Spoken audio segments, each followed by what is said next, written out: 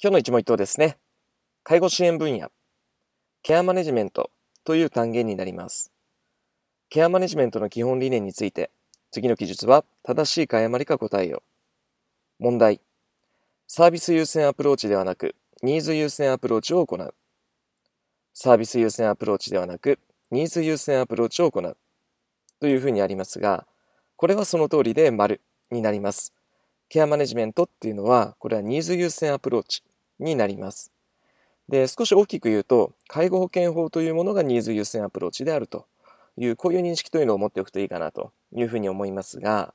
ニーズ優先アプローチっていうのは何ですかといったら、まあ、利用者さんのニーズありきの考え方のことですね。まあ、ケアマネさんというのはケアマネジメントという過程を通じてですね、まあ、利用者さんのニーズを抽出するわけですよね。アセスメントというものを通してニーズを抽出して、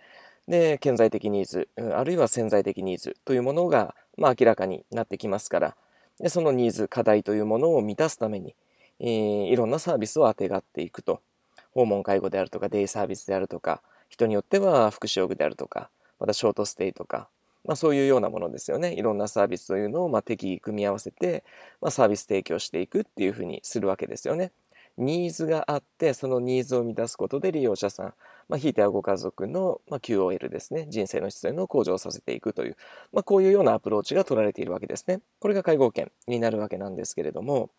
サービス優先アプローチというのは違うわけですね。これはサービスありきの考え方になります。介護保険が始まるまでの老人福祉老人介護ですねの考え方になるわけなんですけれども、まあ、老人福祉法というのがですね介護保険ができるまでまあ、高齢者介護というものを担っている制度になっていたわけなんですけれども、まあ、訪問介護もデイサービスもショートステイも施設入所もあったわけですね。ただ、老人福祉法にはケアマネさんという人がいない、ケアマネジメントという過程がないわけですね。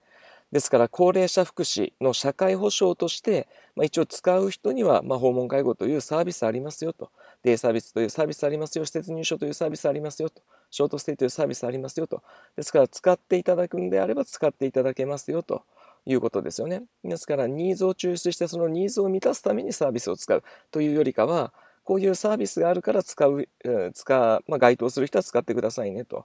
まあ、そういうような形でサービスをまあ広くあの門戸を開いているという、まあ、そういうような考え方だったわけですね。そういうようなアプローチの方法というのが取られていた。これをサービス優先アプローチというふうに言うわけですね。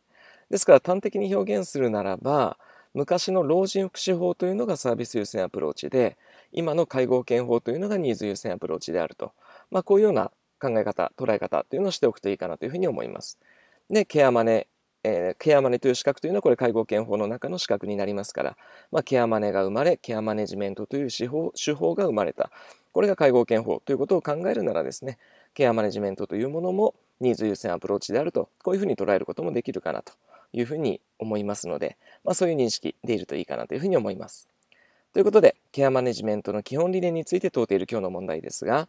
サービス優先アプローチではなくニーズ優先アプローチを行うというふうにありますがこれはその通りで丸ということになります。今日の一問一答の解説は以上です。